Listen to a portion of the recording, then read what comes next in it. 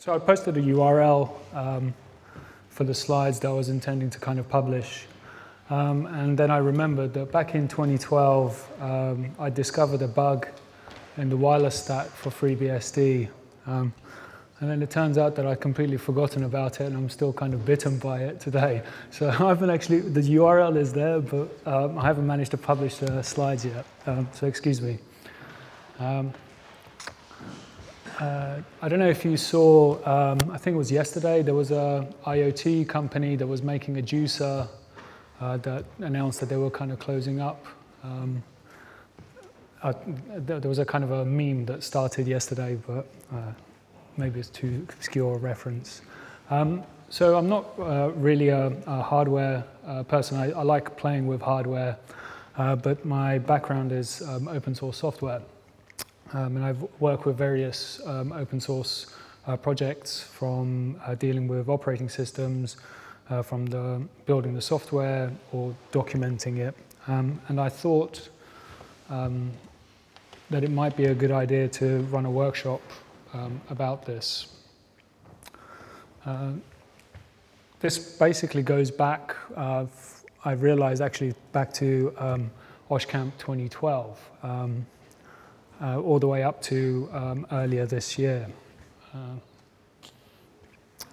so uh, OSHCamp 2012, we actually had uh, a, uh, two talks, one from um, Melanie, um, who was talking about dealing with um, ARM and uh, building systems using Linux. Um, I was kind of really outraged by the, you know, the complications of the process, and I spent most of the day sitting over there uh, trying to kind of cross-compile my own um, FreeBSD image for Raspberry Pi, um, which I managed to do by the end of the day. Um, and then the following day, OMA ran a workshop on um, dealing with GPIO and uh, how to get started. Um, I'd kind of completely long forgotten about this until uh, last night when I uh, looked at this, uh, the slides for the, sorry, not the slides, the website, and I realized that actually uh, you know, this thing did happen uh, back then. Um, another, uh, another event which had a kind of an impact on me was a chip hack back in 2013, which was just exposure to kind of closed tool chains which are forced on you um, and how brittle um, they can be and how you can just lose so much time um, trying to fight uh, something that's put together uh, quite badly. Um, so back at uh, OSHUG uh, number 46, Andrew asked me to give a presentation about uh, the different operating systems uh, in the BSD family um, and how they would be a benefit uh, to someone. Um, and I kind of did this um, all-encompassing uh, talk about three or four different operating systems. Um, and then Andrew asked me again to perhaps run a workshop. Um, and for the workshop, um, I've never uh, done this before, and I thought it might be a bit much trying to cover three or four operating systems for a, um, a group of people and just focused on one, being uh, NetBSD. so um, the main reason that I thought it wasn't, I wasn't trying to kind of recruit new users, but just to kind of plant seeds about uh, what people could expect um, from an environment, because a lot of uh, a lot of projects are quite badly put together, and uh, especially in NetBSD, the tooling is uh, quite nice that it could save you a lot of time. Um, and because people are quite uh, passionate about the project, um, the focus on uh, technical correctness um, means that, that, there's not that much, I mean, there's bad code, but there's not kind of shortcuts everywhere. People pay attention to detail. Um, and that kind of feeds back in terms of respect for the user's time. Um, so I was hoping to kind of demonstrate that to, um, to people. Um, so um, so we, we uh, in NetBSD, like um, the ability to kind of cross-compile is uh, quite fundamental to the project. Um, so you have these things not even for the operating system, but you know, like kind of bootloaders for Windows. You actually dynamically generate the Visual Studio configuration file using common Unix tools. Um, and I didn't realize actually how bad uh, things can be. Um, so in this case, like embedded Visual Studio, um, you have this kind of GUI interface for setting up your uh, for your software, you know, where your dialog boxes are going to go. Even the slightest movement of one of these dialog boxes just renders your file completely corrupt, and you have to kind of go back and start again. Um, there's a gentleman uh, by the name of Bret Victor um, who does a uh, he gave a talk called Inventing on Principle, which was a few years old now, but he talks about if you can reduce the feedback time between uh, when you're experimenting with things, um, how that opens you up to kind of being able to explore new possibilities with these. So at the time, this wasn't public, but uh, it's a, he, was demonstrating a feature that's in, um, in Xcode as standard now, which is dynamically, uh, as you're writing code, the compiler in the background is experimenting with, uh, compiling your code so your, your mistakes are pointed out um, as you're actually introducing them rather than having this kind of long um, feedback time.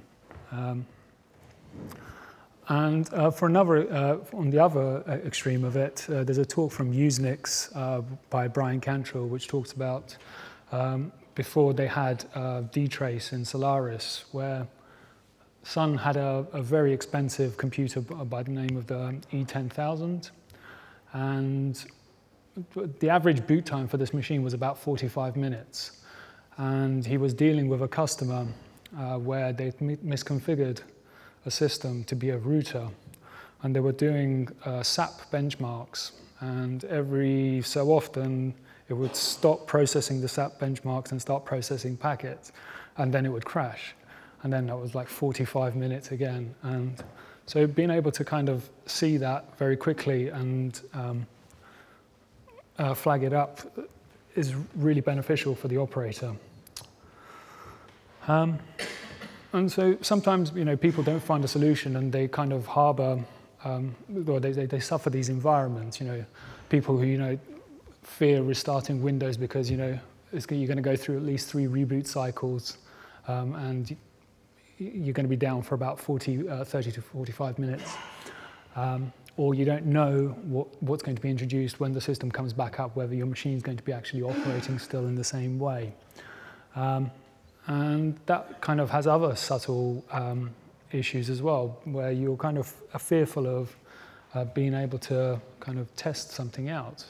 Um, a common issue is like in the networking world, where you're being sold an appliance and redundancy may not be an actual uh, functionality that's available out of the box. That's a licensed feature. So, which means once that thing is kind of live, you're really fearful of um, making any changes. Uh, and that's really sad because, you know, just because you put something out there doesn't mean that you got it right the first time. And for you to be in fear of uh, making any further changes is seems cruel.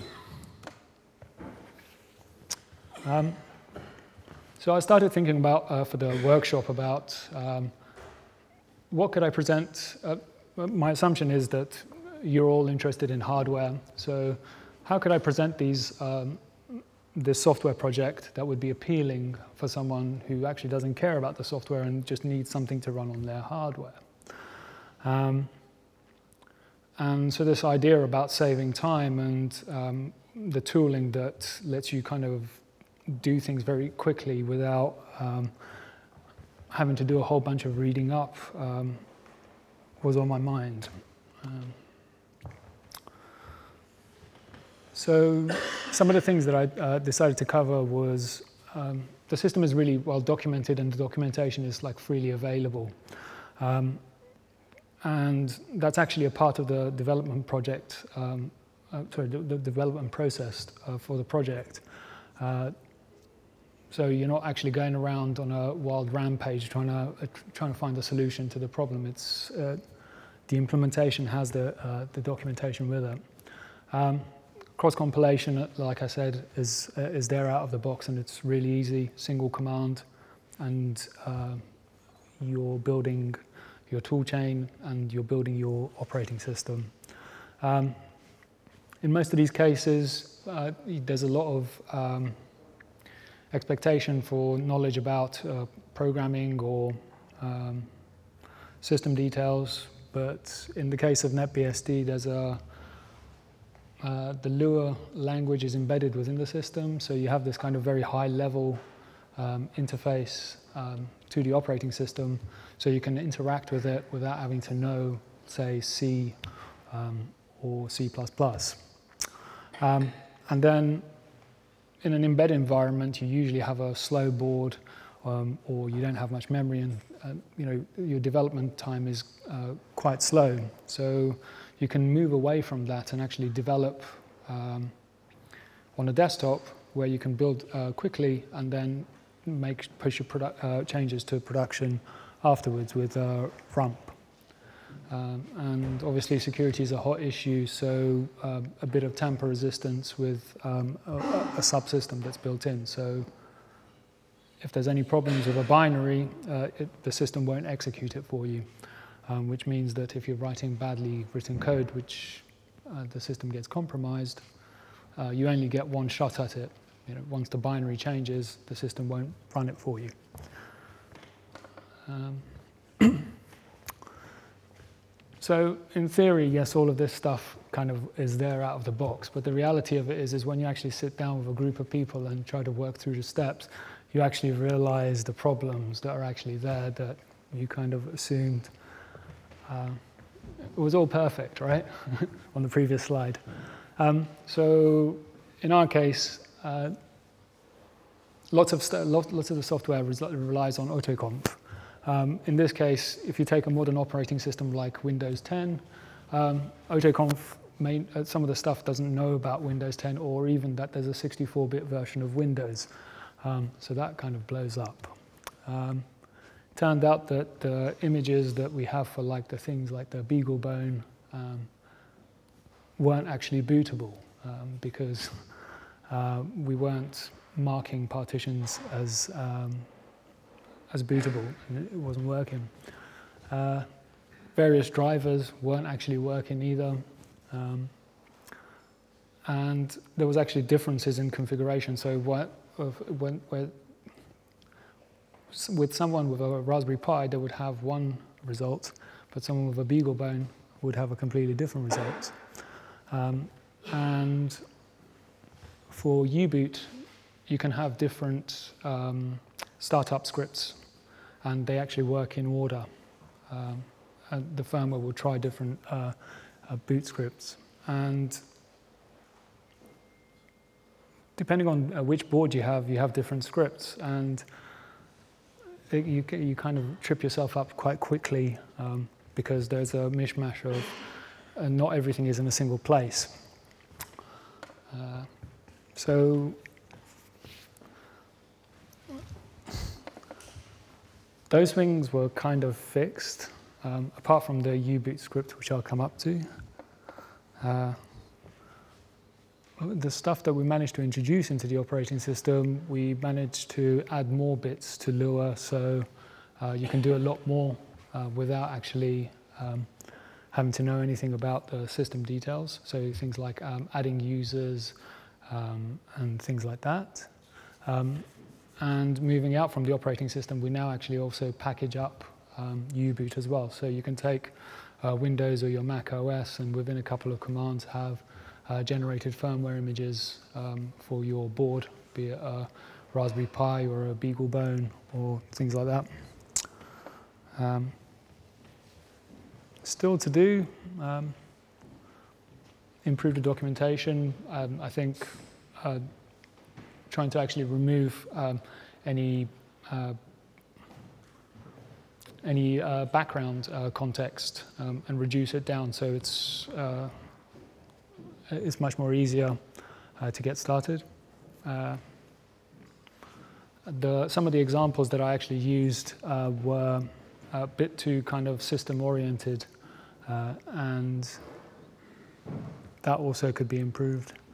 Um, we're planning to extend uh, the Lua subsystem even more, so you can do even more without actually having to write a single line of C um, or, or, know anything about the system internals again.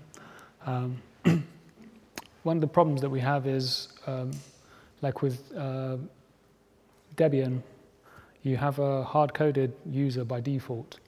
And that uh, creates a security problem because most people end up just pushing these um, images into public-facing um, devices um, and uh, get caught out. So we were thinking of actually creating a mechanism where you would just create a file and put the user details in that. And when the system boots up, it would create that user for you. Um, but haven't actually worked out a way of doing that cleanly, whether that's a one-time thing or if it's um, uh, if it's always going to be active. So every time it boots up, it will always perform this task. and also the organization of uh, the, uh, the U-boot scripts. It seems that though you have this kind of generic firmware environment, uh, the scripting uh, for it is, uh, is a bit of a mess because, like I said, the file can be named in different ways, and depending on which file it is, uh, it will get uh, picked first, or it would be picked in a different order. Uh,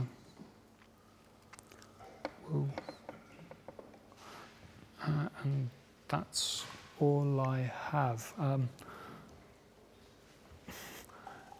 I, so I ran this uh, workshop at uh, OSHUG and then um, also at uh, B-Sides in London um, and also in uh, Cambridge as well. And the, the responses uh, were different. I think like for the tamper resistant stuff for the security audience, it was kind of you didn't really have to kind of give much technical background. It kind of just triggered the light bulb of you can do this thing out of the box um, and you don't need um, to create a whole bunch of tooling for it.